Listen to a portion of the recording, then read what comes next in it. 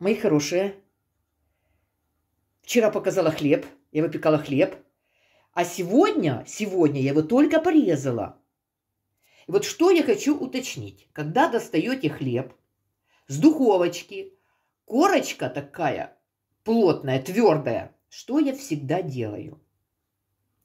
Я силиконовой кисточкой, с помощью силиконовой кисточки смачиваю полностью вот этот хлеб. Полностью. И верхушку, и бока, и низ. Полностью. Смачиваю водой. Ну, верхушку, верх, да, более обильно смачиваю. Хлеб немножко просыхает. Я его заворачиваю в бумажное полотенечко и ставлю назад в эту форму. У меня силиконовая форма, хотя есть и другая форма. Но мне больше нравится силиконовая форма. Хлеб у меня ночует в силиконовой формочке но он находится в бумажном полотенечке, прикрыт, верхушечка прикрыта. И когда я утром начинаю нарезку хлеба, то хлеб намного легче режется. Люди, посмотрите, какие равномерные кусочки у меня, смотрите. И верхушка не такая плотная, не такая твердая, Посмотрите, какие кусочки. Ну, просто ковришка, как Галочка Голицына говорила. Это не хлеб, это ковришка. Посмотрите, какой кусочек чернослива. Ух ты, хлеб. Смотрите, какие тонкие у меня кусочки. Смотрите. Вот такие тоненькие кусочки. Вот это хлеб. Смотрите, разрез хлеба. Вкуснятина. Сытно, вкусно, просто, бюджетно. Вы только подумайте, сколько такой хлеб будет стоить в частных пекарнях. Я как-то посмотрела в сельпо, кусочек хлеба грамм, ну, 200, 300, наверное, не будет, он пустой. Безглютеновый хлеб придумали. Вытяжка денег. 180 гривен. Это приблизительно, приблизительно 4,5 доллара, 4 доллара. 300 грамм? Ну, точно таки этот хлеб в частном э, производстве, частной пекарне, имею в виду, ему цену не придумают. Это ж натурпродукт. Вы только посмотрите. Вкуснятина, готовьте. Мы можем себе позволять такой цве- э, хлеб. Цвет какой красивый, да? Вот я говорила, да? Я солод положила почти 3 столовые ложки. Цвет каштановый. Каштановый, даже не коричневый. Красно-коричневый, каштановый. Смотрите вкусно. Вот такой хлеб берете, да? Да со стаканчиком, с чашечкой ряженки, простокваши, кефирчика. Вот это здорово. Готовьте. Есть видео, как я готовлю этот хлеб. Есть видео закваска. Готовьте, не ленитесь. Это очень вкусно.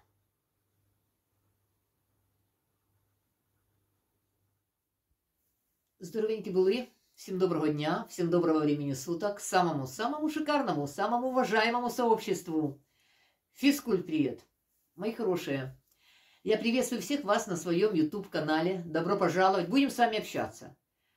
Мы с вами только о похудении, мы с вами о стройности, мы с вами о мотивации, мы с вами о питании, так как канал похудения. Мы с вами обязательно о движении, так как канал похудения мы с вами о дисциплине. Движение – это дисциплина. Спорт – это дисциплина. Сила воли – это конкретно спорт, не питание сила воли, нет. Мы с вами о здоровье, вот сегодня здоровье, значит, мы с вами о жизни. Мои хорошие, я буду быстро, чтобы успеть, чтобы видео у меня не было большое, поэтому сейчас буду быстро говорить, тарахтеть буду, да? Если где-то ошибка, вы должны понимать, это Таня оговорилась, такое бывает. Значит так, ну у меня же нету плана. Я смотрю камеру, у меня нету плана, поэтому я могу где-то что-то пропустить. Или прибавить, наоборот. Я, кстати, села в комнате, потому что на кухне очень жарко, очень. Затянула жалюзи, и я там буду очень красная. Так что я сегодня э, не в приемной, ой, я говорила, я сказала на кухне, не в приемной, это моя приемная кухня, да. Я сегодня в комнате. Значит, с чего хочу начать? Я получаю комментарии конкретно. Сегодня комментарии были. У меня много комментариев о давлении. О, давление, да? Думаю, чего это давление? Значит, э, где-то кто-то посоветовал, и Руся, сестра Самвела, посоветовала, э, значит, как бы сказала себе, и люди услышали, да? Значит, услышали за препараты от давления. У меня есть видео. Я в Турции снимала видео конкретно о этих препаратах, мои хорошие. Есть видео. Я оставлю ссылочку в комментариях. Давайте я не буду повторяться, потому что видео будет такое длинное, большое, как обычно, да. Единственное, что хочу еще сказать. Значит, у меня нету сложностей по сердечно-сосудистой системе. У меня нету каких-то сложностей конкретно вот сосудами. Я не гипертоник, нет. Почему у меня поднималось давление? У меня нарушение гормонального фона. Нарушение гормонального фона это не обязательно 70 ТТГ. Нарушение это четверка, уже может подняться давление. Три чем-то уже может подниматься давление. Шестерка, семерка, уже поднимается давление. Малейшее нарушение по гормонам щитовидка. Есть у вас, нету щитовидка. Это работа сердечно-сосудистой системы. Даже на тройке может повышаться давление. Кто-то скажет, у мене все нормальненько, у мене тройка, а норма четверка. Я, я в норме, да? Это уже гипотиреоз. У нас есть э, такие комментарии, такие факты, такие свидетельства. Сейчас почитаем. Значит, потом вес еще. Вес, вес. Тогда я так не занималась. Это я сейчас. Вот мне пишут живчик, да. Ну, вообще я живчик по жизни такая, да. Но там был вес. Вес это что? Это давление. Сбрасывайте вес, любыми усилиями и питание, и движение, и будет вам счастье. И выравнивайте гормональный фон. Ну, у кого-то еще почки давления, но не буду трогать эту тему. Я здоровый человек. Не надо там какие-то искать себе заболевания. По сердечно-сосудистой системе все нормально. Почки здесь ни при чем. Эндокринология, да. Гормональный фон выравнивать. Сейчас препараты не принимаю вообще, вообще. Давно, и не год, не два, не три, не четыре вообще. Э, ездила в Турцию, да, я накупила с собой этих препаратов. Значит, э, сейчас вот решила вам показать, и смотрю, срок реализации, надо выбросить этот препарат. Это Арифон Ретард. Вот этот препарат от давления, который принимается с утра, одна таблетка, Арифон Ретард. До 23 -го года здесь я сейчас выброшу. Арифон Ретард, прекрасный э, препарат, ну сейчас так напомню быстро. Препарат этот хорошо принимать женщинам в климактерическом периоде конкретно. В климактерическом периоде. Слабый диуретик. Что это значит? Туалет бегать не будете. Знаете, есть такой препарат мочегонный, да, человек сбивает давление, бегает в туалет. Это не скорая помощь, нет. Это препарат, который держит, стабилизирует давление. Держит, стабилизирует. Нужно начинать принимать по накопительной, идет, работает этот препарат. По накопительной, понятно? Арифон ретард. Прекрасный препарат, одна таблетка принимается в сутки. Нету такой таблетки, чтобы она держала 24 часа давления. Обязательно таблетка принимается вечером. Вообще у многих людей давление поднимается ночью, если есть какие-то сложности. Поэтому вы не балуйтесь одной таблеточкой с утра. Вечером я принимала, так как кардиолог мне предложила, кардиолог, именно кардиолог с большой буквы, предложила вечером лизинаприл ретиофарм. Ретиофарм сейчас нету, пишется лизинаприл ТВА в Украине. Моя доза пятерка. И я принимала лизинаприл, э, Рахиофарм пятерка. Последнее время лизинаприл Тева. Я покупала, но я не принимала. Чтобы дома было, да. Вот я накупила здесь до 25 -го года, конечно, эти таблетки у меня есть, но я их не принимаю. Я их не принимаю. Они мне не нужны. Мое давление вообще хорошее правильное давление у любого человека. Не 135 это мое давление, а давление должно быть не 120 на 80. Хорошее давление это 119 на 79. Понятно, да? Чем ниже давление вот так вот, тем лучше. Не надо 127. Это хорошо 127. Давление должно быть даже 119 на 79. Это не, гипотони, не гипотоник. Вот я не гипотоник, нет. Это нормальное давление. Мне хорошо, когда, допустим, у меня ниже давление, да, и спокойнее как-то на, на сердце, спокойнее. Гипотоники вообще дольше живут. Им не так может быть комфортно гипотоникам, да? Там голова болит немножко, ну, кофе выпейте. Ну, вот, допустим, да, гипотоники живут дольше, чем гипертоники. Нормальное давление даже не 120, повторяю, 119 на 79. Это рассказывал нам всем известный кардиолог. Известный кардиолог, все его знают. Так, Ну, кажется, все. Я ставлю ссылку, я вам расскажу там еще историю. Кажется, там есть эта история, рассказывала женщине, которая 30 лет принимала препараты свои, давление. Эти препараты не держали. Я ей посоветовала вот эти препараты.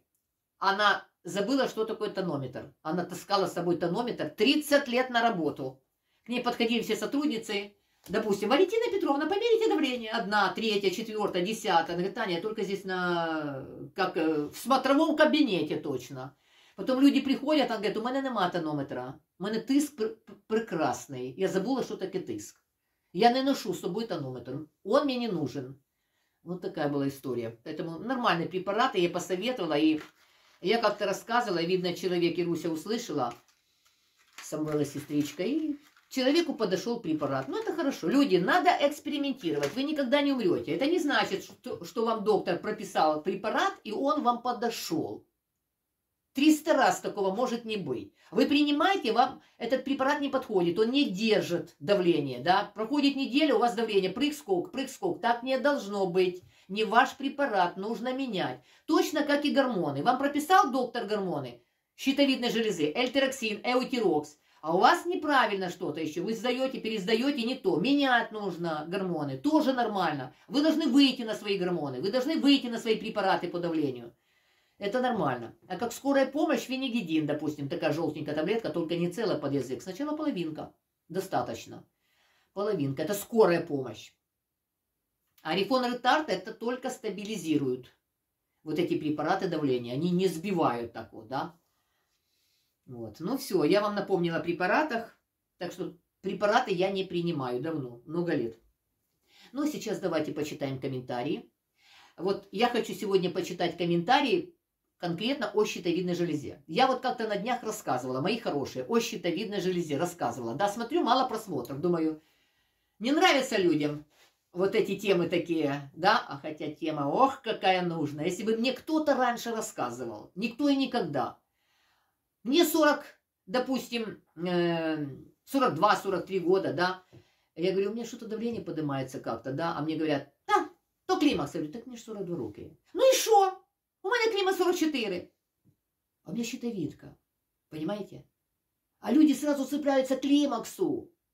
Люди не развиваются, люди не интересуются. Даже если кому-то начинаешь рассказывать, никто не хочет слушать. Она думает, что если она не будет слушать, то ее это будет миновать. Не будет, не будет. Нужно развиваться. Есть разные темы, разные. Я многое тоже учусь. Я вот вижу, как Самвел ухаживает за своей мамой. И я помню, как у Самвела мамы была проблема с пяточками. Теперь я поняла, почему, какая причина была. У человека сахар высокий. Сахар высокий, пятки. То же самое было у моего папы. Ни один медик мне не сказал. Я призываю, приглашаю домой, да, с пятками проблема. Приглашаю хирурга. Хирург это пяточки эти убирает, чистит. И я даже не понимала, что это сахар может быть высокий. И папа у меня не полненький, худенький всегда был. Мне никто не подсказал, обратите внимание на сахар, нужно папе сдать сахар. Ну, домой бы пригласила, чтобы взяли кровь. Никто. И когда я смотрела, как Самвел ухаживает за мамой, я поняла, и у моего папы такое было. Поэтому, люди, развивайтесь. Вы кому-то подскажете когда-то. И если я увижу проблему такую у человека, скажу, обратите внимание на сахар. Век живи, век учись. Но мы дураками все помрем. Мои хорошие. Ну, вот какое-то развитие мы получаем из Ютуба. Получаем, получаем. Ну, хорошо, давайте почитаем сейчас комментарии. Ну, так как у нас тема гормоны, щитовидная железа, э, я могу предложить людям, кто принимает конкретно гормон щитовидной железы Эльтероксин 125. У меня есть 4 упаковки. Я покупала в Турции, просто я принимаю Эутирокс. Срок реализации до 25 года. Турецкие препараты очень-очень качественные. Очищенные препараты. Эльтероксин 125. Можно, кто в Украине, по новой почте, допустим, или Укрпочта даже, это будет дешевле, возможно. Одна упаковка 80 гривен. У меня есть 4 упаковки Эльтероксин 125. Пишите, если кто-то хочет принимать турецкий препарат 4 упаковки. Так, ну а сейчас давайте перейдем к комментариям. Комментариям, да, вот комментарии это наше развитие. Комментарии нам дают темы, да. Я вот возьму, поэтому мне не очень здесь удобно сидеть, мне как-то низко. Сейчас ножка на ножку села Таня, да. Почитаем комментарии, да, мои хорошие? Так, я буду громко говорить, у меня микрофончика нету. Вот такой комментарий, читаем. Таня, побільше розказуйте про щитовидну залозу. Значить, о щитовидній железі. Вчора мені ендокринолог поставили діагноз гіпотеріоз при ТТГ 2 за 5,03. Понятно? На двойке доктор, доктор, эндокринолог с большой буквы человек поставил, наконец-то, правильный диагноз. Я первый раз вижу за всю историю Ютуба. Такого не было. На цифре 2.03 поставлен диагноз гипотериоз. Пожалуйста, не знаю, як краще на УЗІ ознаки дифузного зоба першої ступені, значит, дрібний вузол правой доли. Ну, не страшно. Э, узлы есть у многих, почти у каждого. Узлы не лечатся, но они проверяются. У вас правильная доза, мне кажется, вам больше не нужно. Вот, это сто процентов. Посмотрите, попринимаете эутирокс. Эутирокс вы можете сдавать через 15-20 лет э, прошу прощения, через 15-20 дней анализ, вы посмотрите свой результат. Если вам много эта цифра, вам не нужно ниже единицы, не нужно. 1,3 достаточно будет, может быть вам 12,5. 25 пополам делить. Там нужно посмотреть. Больше не нужно при, принимать, не нужно. Меньше единицы не стремите, чтобы у вас была цифра. Меньше единицы не нужно. Ну вот вы знаете, это такая редкость, когда доктор поставил правильный диагноз. На двойке гипотериоз, а у людей 3,8, 4,2, 5,6. Это возрастной у вас результат. Неправда, неправда. Так, вот хороший комментарий, правда? И вот человек пишет под этим комментарием. Підтримую, поддерживаю. Так, багато жінок страдають гіпотеріозом. Лікарів толкових не знайдеш, люди, поэтому мы должны друг другу помогать. И правильно человек э, написал. Толковых врачей не найдешь. Это такая редкость.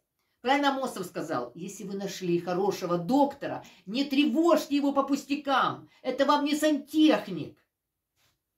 Умно сказано. Так, дальше комментарий читаю. Добрый день, Татьяна. А, ну, на русском. Добрый день, Татьяна. Увлеклась. Э, слушаю вас с огромным удовольствием. Можно сказать, с, отк с открытым ртом. Жду с нетерпением продолжения вот ТТГ. ТТГ. Это щитовидная железа. Так, дальше.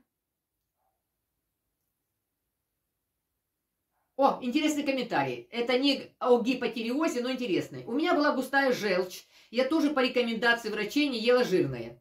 Ну, вы бачили таке? Не ешьте жирное. Густая желчь. А это что?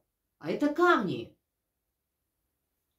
И 23 года назад, после сильнейших приступов, пришлось удалить желчный. После операции они говорили снова, что не нужно употреблять жирное. Ну, правильно, не нужно. Витамина D у вас не будет. Жирный же не едите. Гормоны Е, К, К2 у вас не будет. Витамин, то есть этих Е, Е, К, К2 не будет. Витамина D стероидного гормона не будет. Он жирорастворимый не будет. Вообще половые гормоны уходят тоже. Вы жирное не едите.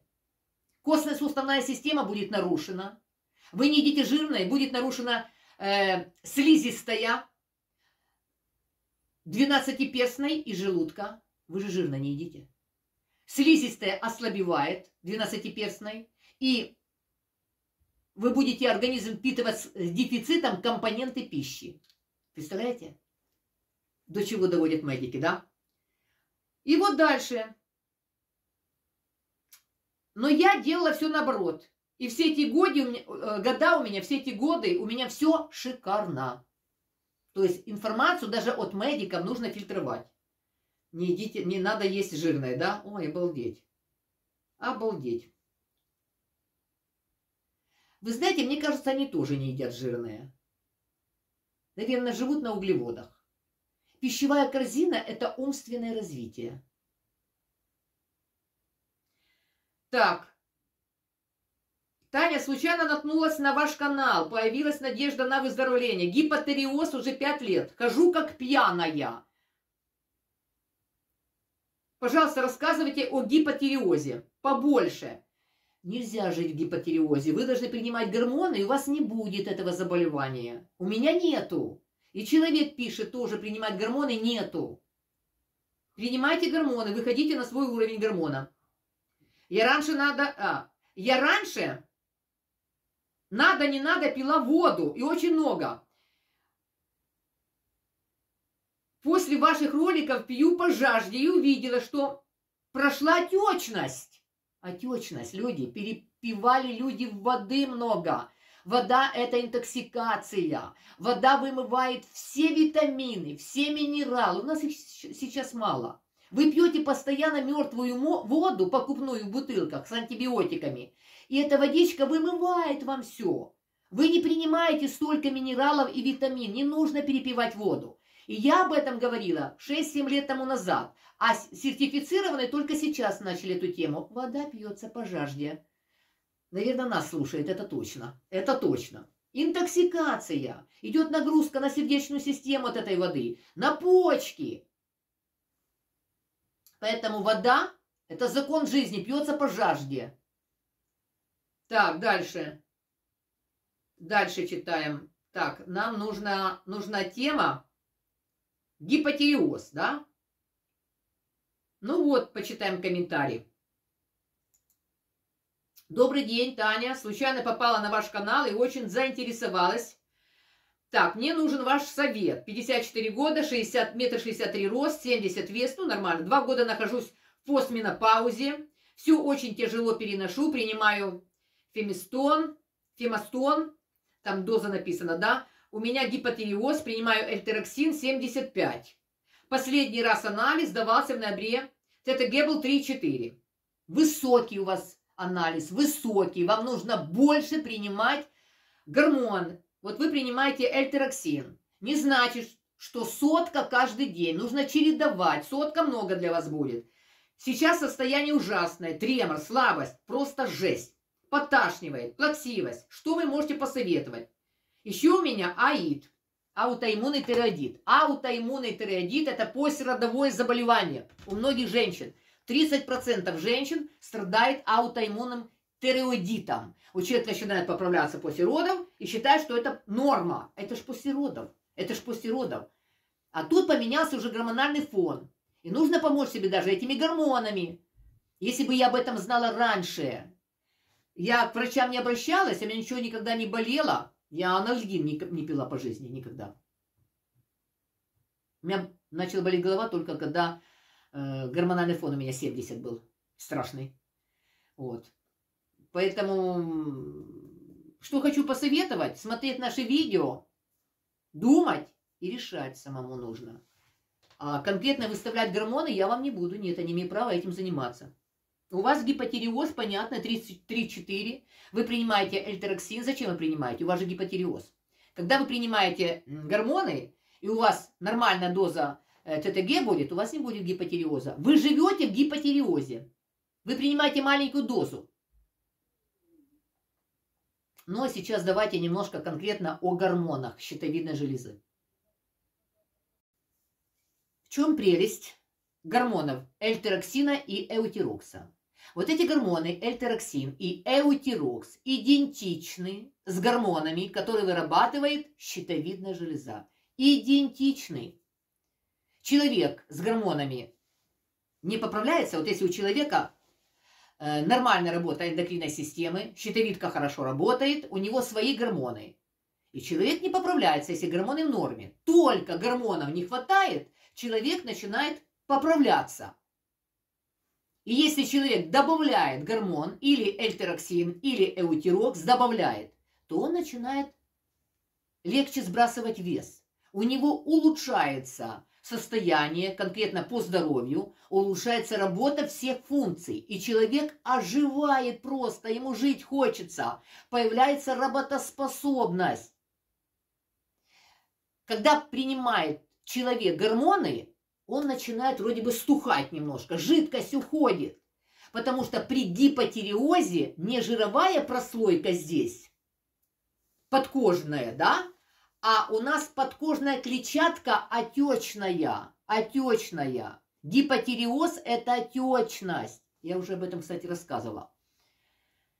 Люди, которые правильно принимают гормоны, выходят на свой уровень. Я принимаю гормоны 75, у меня 3-4. Ну, неправильная доза у вас, поэтому у вас ничего не получается. Даже если у вас нормальный вес, вы плохо себя чувствуете. Нужно выйти на свою дозу, она должна быть ниже двоечки. Потом, вот человек, допустим, принимает гормоны. Кто-то говорит, ты не принимай гормоны. Можно принимать, скорректировать все БАДами, БАДами. БАДы могут только так, знаете, дополнять. Можно дополнять. БАДы могут только, может быть, помочь как дополнение к гормонам. В первую очередь должна быть гормонотерапия. БАДы, там, допустим, йод человек принимает. Вы принимаете йод, да? Принимайте селен, принимайте тирозин. Ну, тирозин, эльтирозин – это такая аминокислота, чистый белок. Ешьте животный белок, и не нужно будет принимать эльтирозин, тирозин, аминокислота. По поводу, допустим, конкретно нутрицептиков.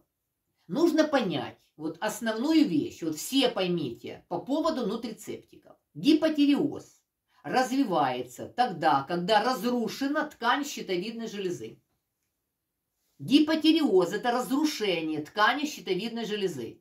Вот берите поджелудочную пример. Что такое панкреатит? У вас нету панкреатита. Панкреатит – это не доведи Господь, это редкое страшное заболевание. Что такое панкреатит? Это разрушена ткань поджелудочной железы. И нужны ферменты при панкреатите. Не 3000 матилиум фистал, не 10 тысяч пангрол, а при панкреатите нужно от 150 до 400 тысяч. Понятно, что такое панкреатит? Это редкое, страшное заболевание. Так вот, гипотиреоз – это разрушение ткани под, э, щитовидной железы. Возникает дефицит, дефицит продукции – мы начинаем замещать конкретно гормонами. Не хватает работ, рабочих, да? Завод остановится, конвейер, да? Должен поступать какой-то субстрат на конвейер. А рабочих нету. Точно так и с гормонами. Нету э, гормонов, нету рабочих. Ничего не будет. Вы не потянете. Ваш организм не потянет. И если будете принимать бат, селен, йод, то это аж никак, просто аж никак не повлияет на ваше здоровье конкретно по гормональному фону. Как проверить работу щитовидной железы? Не УЗИ, не на УЗИ бежать нужно, а бежать нужно на анализ крови. Нужно сдать анализ на ТТГ, Т3, Т4. Если завышена норма ТТГ, если у вас занижены показатели Т3, Т4, тогда только гормоны. Тогда только гормоны. А после анализа вы смотрите, у вас нехороший анализ по крови, тогда вы только идете на УЗИ. То есть первое – это анализ крови. Причина гипотиреоза – это послеродовой тиреоидит. Послеродовой у многих женщин. Потом еще такой есть миф. У кого гипотиреоз, ни в коем случае нельзя молочные продукты. Это миф. Скорее непереносимость молочки. Скорее даже синдром дырявого кишечника. Наели уже, да? зерновыми кашами полезными, да, кашами полезными. Потом, что еще можно сказать? Да, вот еще так говорят. Ой, ты что, принимать гормоны? Да, тогда щитовидка вообще не будет работать. Она не возьмет на себя работу, будут работать гормоны за нее, щитовидка уедет в отпуск, а может быть даже на пенсию уйдет, то есть прекратит работу. Это миф, это неправда. Щитовидка на пенсию не уезжает, в отпуск не отъезжает, если вы начинаете принимать гормоны. Вы только помогаете своей щитовидной железе. Люди, только помогаете. Если бы я об этом раньше знала. У меня бы щитовидка моя была на месте. У нас есть еще начальник, гипофиз. Потом, что еще можно рассказать? Ну вот конкретно я узнала, как лично мне это рассказали, я рассказываю людям, и люди уже э, как бы тоже знают об этом, что есть э, доза Э, зимняя, то есть, допустим, я в конце августа повышаю гормон, на немножко повышаю гормон. Почему повышается гормон? Потому что уменьшается световой день, раньше темнеет, и уже прохладнее становится. Наш организм не тянет на этой дозе, на летней. А в мае месяце начала мая, я уменьшаю немножко дозу, буквально на, 2, на 3 месяца. На 3 месяца уменьшаю дозу, и хорошо, зачем лишний гормон принимать, правда? А на осень нужно добавлять уже гормон. Вот, такое тоже есть. Это мне рассказал только один эндокринолог, я ни от кого это не слышала. Ну, как бы это все то, что касается конкретно гормонов. О гормонах. Я принимаю гормоны эутирокс. Эутирокс. Эутирокс, они начинают работать буквально на пятый день. На пятый день уже они входят в работу. На 15 день приема гормона эутирокс, ну на 20 день точно вы можете пересдавать анализ. Вы идете, сдаете анализ, и вы смотрите анализ ТТГ. На 20 день уже спокойно можете сдавать анализ. Но я практик, я практик. На 20 день 100%. Принимая эльтероксин, он накапливается месяц-два. И вам доктор может сказать, придете сдавать анализ через два месяца. И доктор прав. Там накопление идет совсем по-другому. Совсем по-другому. Эутирокс на 20 день, он моментально входит в работу.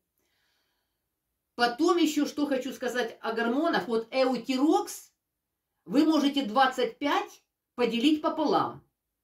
Эутирокс. Эльтероксин нет, там такая матрица. Э, эльтероксин пополам уже 25 не делится.